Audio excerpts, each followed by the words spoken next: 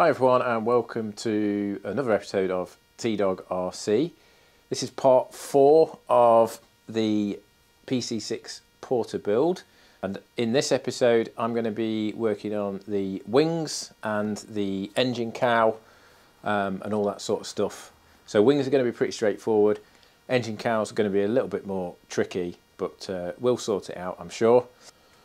I've also got some other exciting tech news to tell you. Um, but before we get started, if this is the first time you've found the channel and you're into fixed wing RC, whether that's Balsa, Nitro, uh, foam, FPV, EDFs, all that sort of stuff, then this is definitely going to be a channel that you're going to want to subscribe to. So please hit the subscribe button, hit the like button, and uh, help me out. And without further ado, let's get stuck in.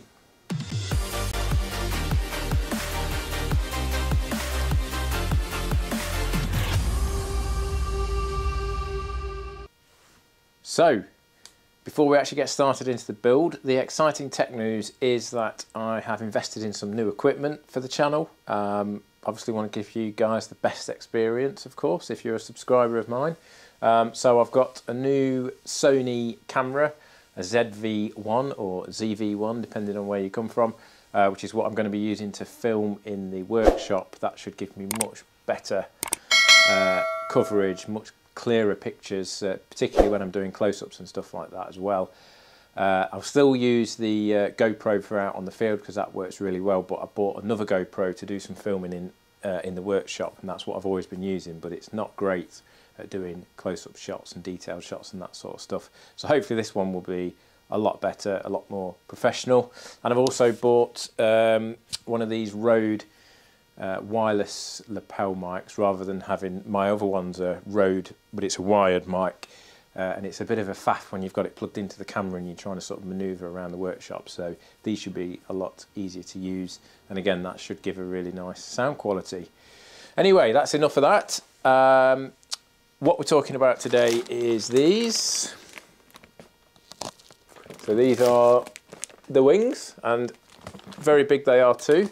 This is just one wing, the other one's that side, and they are, as usual for VQ, very nicely packed indeed. So we've got to start, um, first of all, of course, by getting these out the packaging. Uh, then jobs to do on the wings is actually not that much, to be honest. I've just got to hook the ailerons up, obviously install the aileron servo, get the ailerons hook, hooked up, same for the flaps. It's got some big flaps on this, it being a STOL aircraft. Uh, get the servo installed for that. Pull the wires through. Hopefully, uh, certainly known on other VQ models, they leave you a little cord inside the wing that's already there, so you can pull the servo lead through. So that's good. Uh, and then once I've done that, it's then starting really on the uh, the cowl for the engine. Well, getting the engine mounted as well, actually.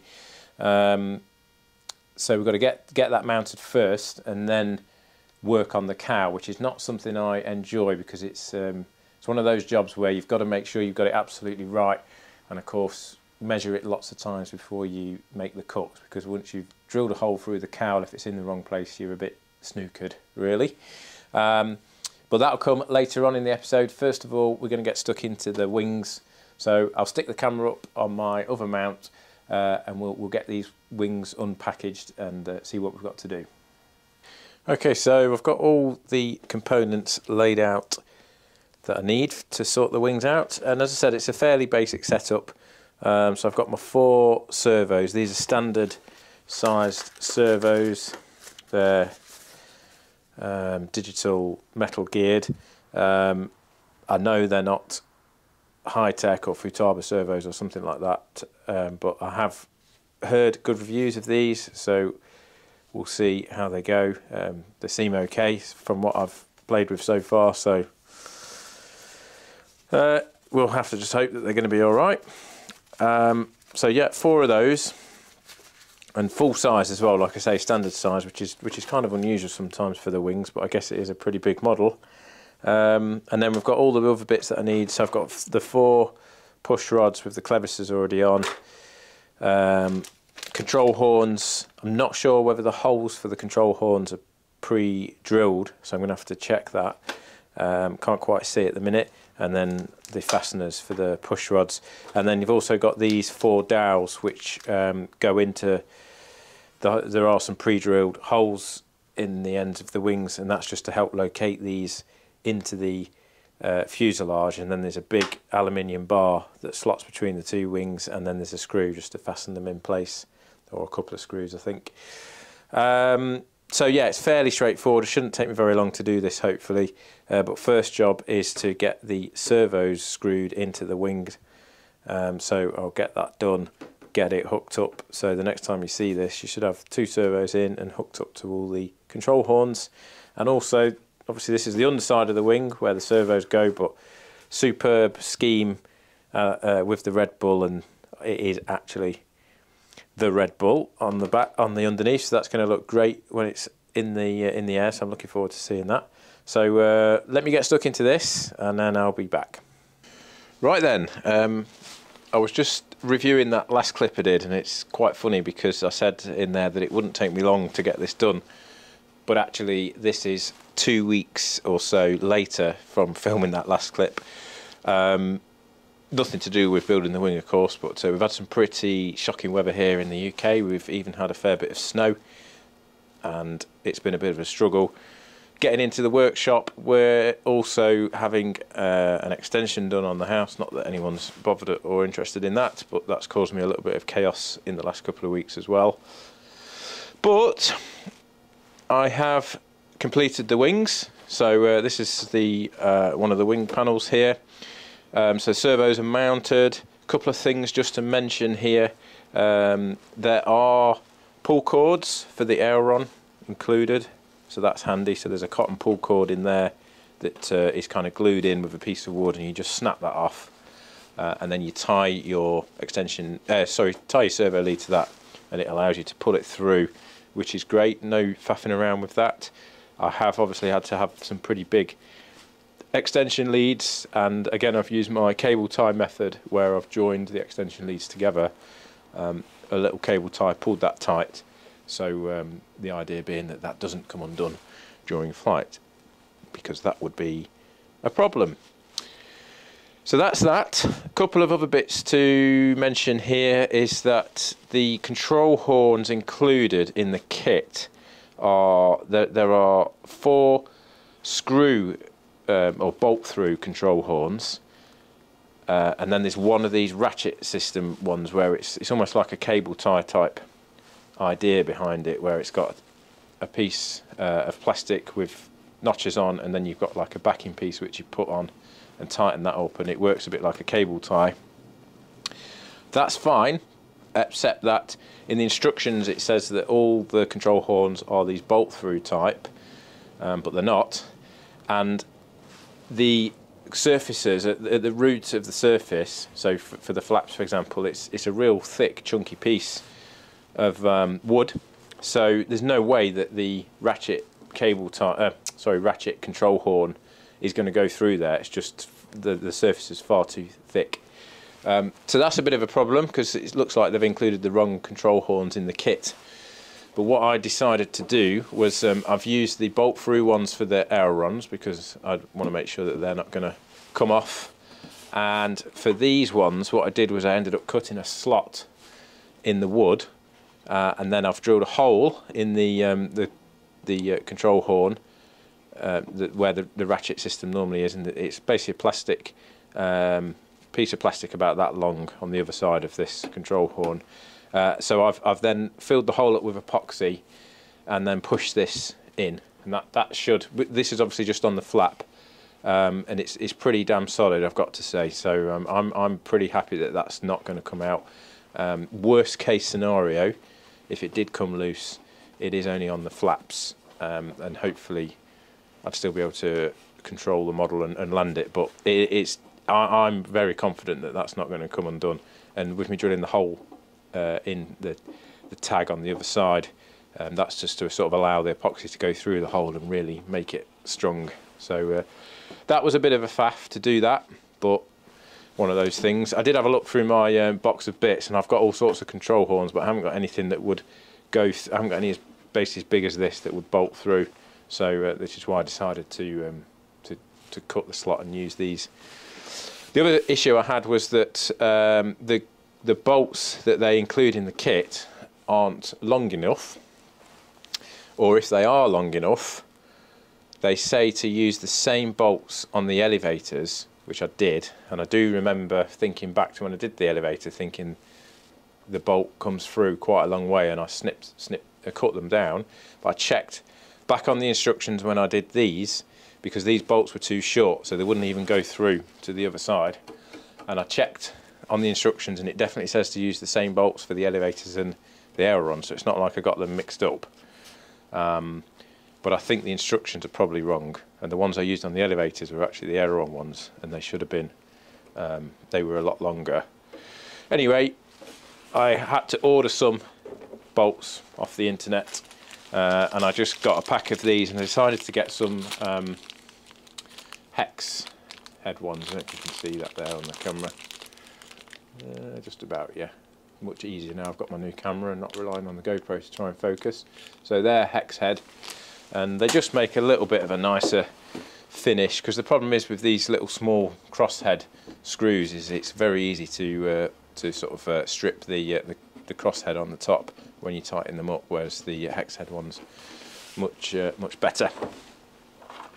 You'll also maybe notice that the arms are facing that way um, normally you would have them both in the same direction and the opposite on the other wing but I'm going to be using a Y lead for the flaps so I need to make sure the flaps both move in the same direction which is why I've done it like that but I'm not using a Y lead for the ailerons they're going to be in their own separate channel on the receiver uh, which and I'll just use a mix to sort those out. The other thing I've done just to make life a little bit easier is I have used different coloured servo leads. So the black red and white is for the ailerons and then the uh, brown red and yellow is for the flaps and that will be reflected on my leads coming out of the receiver so it just makes it a little bit easier to plug in so um, I think now it is high time we got these wings temporarily mounted onto the fuselage and I get the camera moved into position and we, and we take a look how this beast is shaping up. So give me a few seconds uh, and it won't be two weeks this time, it is literally going to be a few minutes. I'm going to swivel the camera around and uh, let's have a look.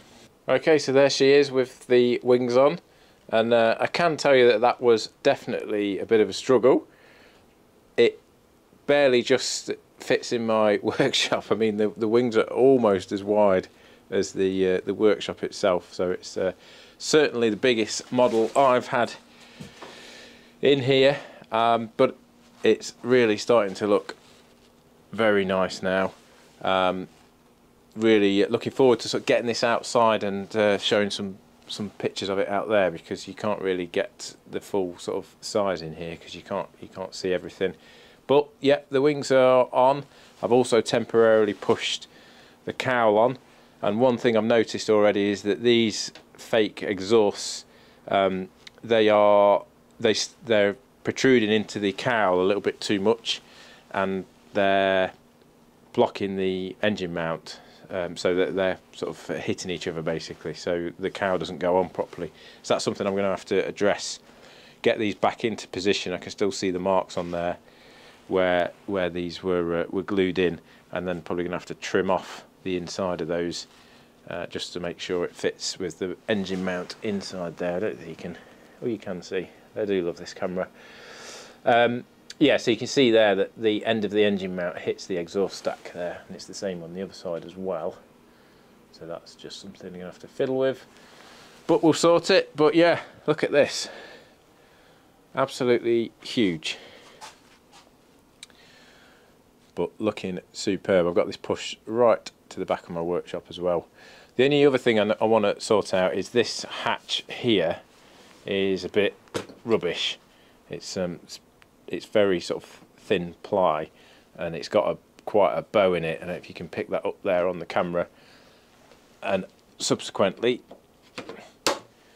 it leaves a bit of a nasty dip there. So that's something as well. I'm gonna have to uh, fit, uh, sorry, glue in a, sort of just a strengthening piece of ply across here and flatten that out just to make sure that's a nice tight fit because you know I'm not going crazy uh, on this. It's not like a super scale model for me but um, that I don't like that. That just looks a bit sloppy there. So we'll uh, we'll get that sorted. And next job for me now as part of this video is to start getting the cow fitted. Uh, we'll take our time with it. I might try a new method of putting some paper templates down the side uh, when I've got the engine mounted. So put those down the side there uh, and then measure out where the holes are against that paper template and then um, then that should come level with the cow and I can see I can basically just drill through the template and that should drill through the cow that's the idea anyway. It's something that I've seen uh, a while ago actually probably over a year ago somewhere on YouTube uh, someone was showing their method of um, getting a cow properly uh, drilled out and how to make it easy to do it. So that's what I'm going to have a go with. So let me get stuck into that. Uh, I'll get the engine mounted next see how it um, how the cow sort of goes on just with the engine and without the exhaust and then start measuring up and getting it cut. So sit tight and that's going to be the next part of this video. Right then so I've got the engine mounted. Um, I've taken the silencer off just to make life a little bit easier I'm going to do that last of all. And then on this side uh, the needle valve is actually pretty much level with the uh, the firewall. So that's that's quite handy that it's like that. And what I'm going to do is put a piece of um, metal in there um, some push rod um, and just so I can obviously that's going to poke out the side of the cow and allow me to adjust the needle valve. I'll just put a uh, right angle bend on that to uh, give me a little handle to grab onto. And and that's really nice because as I said it's, it's it's literally level with the end of the um, the firewall there. So I actually once I've measured that only need to drill a small hole in the cow for that to go through. So that's good.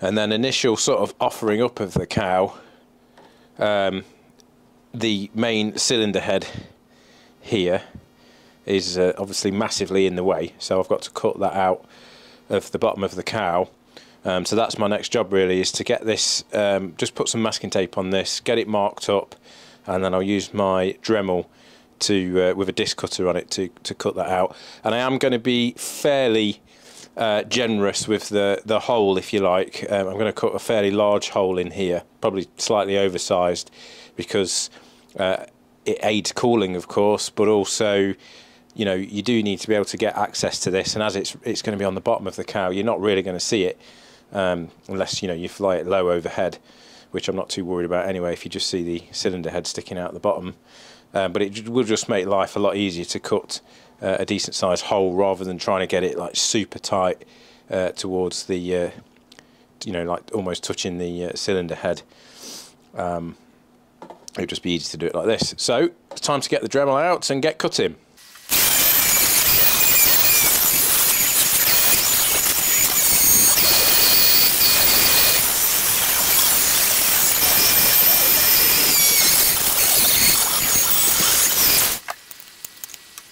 Right then, so the cowl is on.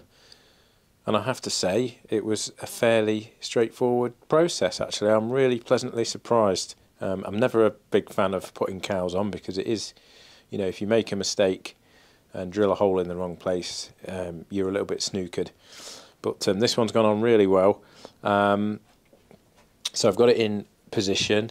You can see from this view, I've just got the prop backplate hanging out there just a, the perfect amount I think uh, again I can adjust the cow slightly if that's going to give me a bit too much of a gap between the back plate on the spinner and the uh, front of this cow. Then underneath so this is where I cut the slot out underneath. Um, I've tried to be as economical as I could. I maybe could have obviously made it a little bit um, wider here but um, it gives me plenty of access up here anyway and get to the glow plug and all that sort of stuff. So, and obviously you're not going to see the bottom, um, but that it does fit on really nice. And then at the front here, I've only cut out um, just enough really for the uh, the push rod outers there. So uh, just to give them some clearance, and then coming around here, it is quite tight, but that's that's fine. I'm okay with that. And then the great news is the exhaust didn't need a hole cutting in the side of the cow, as you can see there, because it's actually pretty much at the bottom of the cow, but I have had to cut a slot here, otherwise I couldn't get the exhaust um, in because it was just fouling with the edge of the cow here. So I've just cut a little slot out there, but that's I'm quite happy with that. Looks quite neat if you ask me. Um, and also the great thing is it means I can get to this nut here and really tighten the exhaust up because the exhaust on these things are renowned for coming loose and it's a real tricky situation if you can't get to this because the cow's in the way and it comes off and then you, you're down at the field trying to tighten it up and you've got to take all the cow to bits. So that's great. And then the needle valve on this side as you can see there I've literally just got this tiny little hole there and then that is actually in the needle valve now. So that's in position. Um, and as you can see it just pokes out the side. So I just need to turn that into a little uh, right angle so I can uh, turn it and see where it is as well. So and as you can see from this angle as well cow looks nice and tight. When I fasten it in place I just need to pull these bits in at the bottom here just to get it nice and tight onto the fuselage. But I'm really quite pleased with that personally. I'm sure there's people out there that could probably do a better job, but uh, yeah, I'm quite happy with that. Just got to see, as I say, how it the spinner looks once it's on, because what I don't want is for the spinner to be completely offset, so I might just have to play around with the positioning there a little bit. Um, to fasten the cowl on, I've bought these screws um, so these are, they're actually like servo screws. Um, but the nice thing about these is, is, if you can see there, they've got a hex head. And they're nice, they're going to sit nice and flush with the, uh, with the cowl as well. Um, they've just got like a, a, fairly shallow dome head on them. So that's what I'm going to use to fasten the cowl on. I'll have, whoop, nearly tipped the model up there. So I'm going to have one screw there in the centre uh, and then probably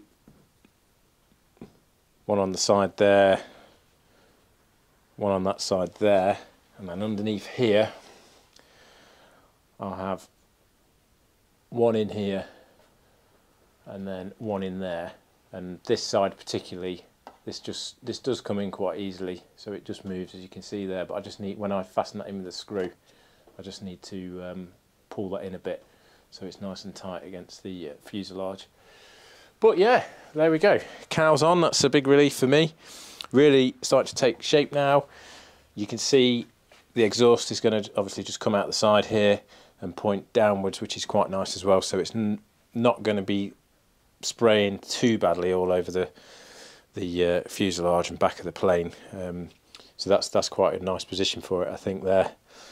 The only thing I've got to decide now is where to put my little um, quick fill valve and I think what I'm going to do is I'm going to put it here because um, I can get to the back of this because there's, there's a slot there which you can probably just about see.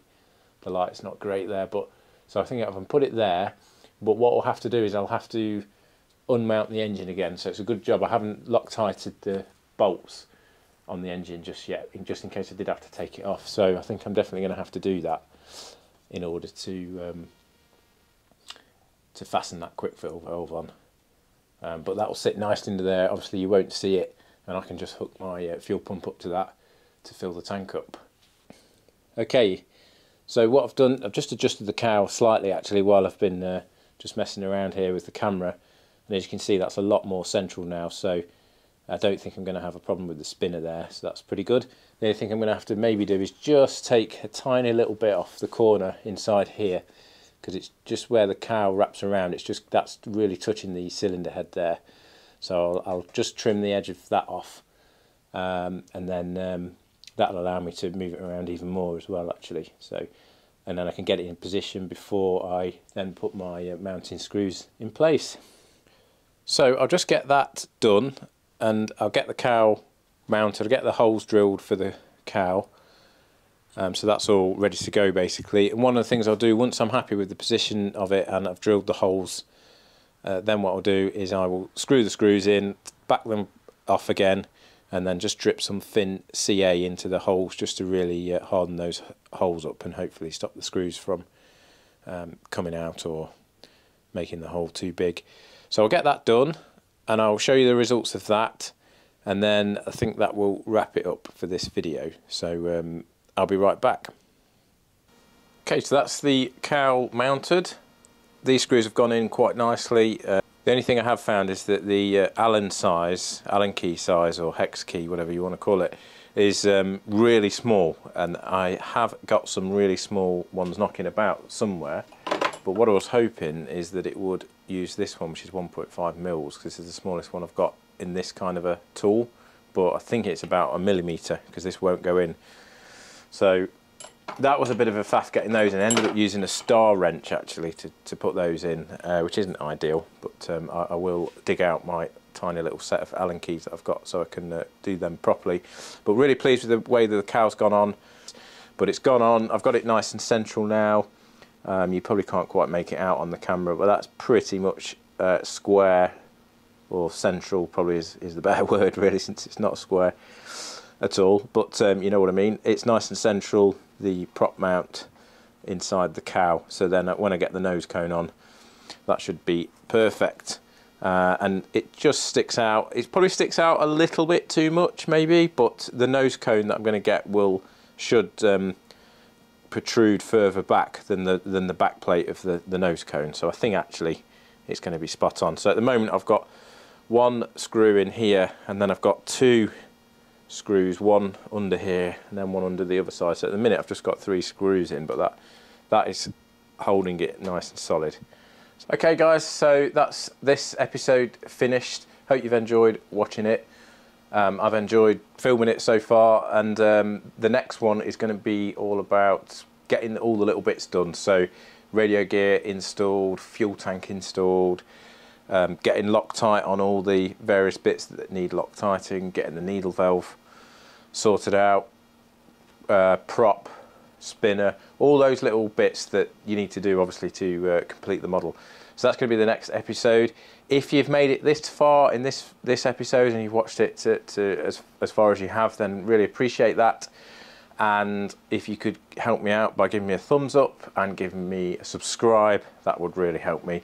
Uh, I'm nearly at 500 subscribers. Once I hit 500 I can then start posting pictures and things like that into YouTube um, for all my subscribers. So I sort of start posting a lot more regular content really and keep you up to date on things that are going on.